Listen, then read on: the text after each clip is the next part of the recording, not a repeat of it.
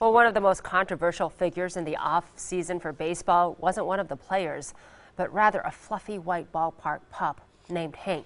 Pete Zervakis live with us once again from Miller Park this morning, looking ahead to Hank's future as a pint-sized mascot. Morning, Pete.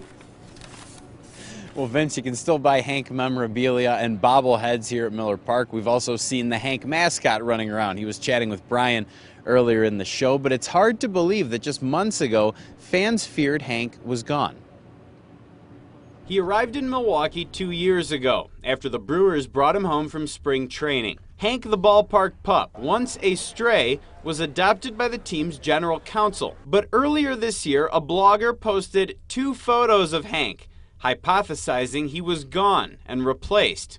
Fans fretted. It looks like he's an imposter, the one on the right. They probably have three or four Hanks, you know, bring out the clean one this day, that kind of thing. I think it's the same duck, just needs a hair coloring. But after all the speculation, the Brewers held a news conference. The team cited a notarized letter from Hank's vet showing the ballpark pup remains alive and well. Hank the ballpark pup is still Hank the ballpark pup. There is no substitute. He's the original.